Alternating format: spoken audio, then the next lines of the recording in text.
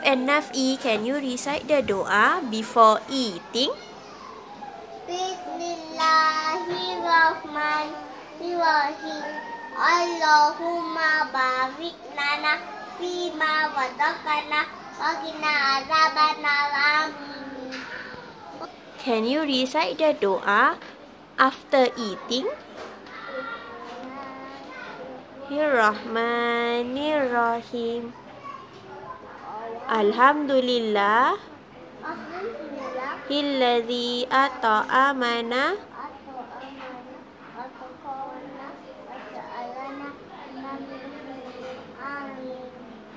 Well done.